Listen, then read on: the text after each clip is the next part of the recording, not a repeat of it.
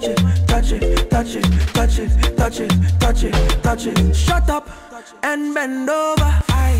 Let your back do the talking over.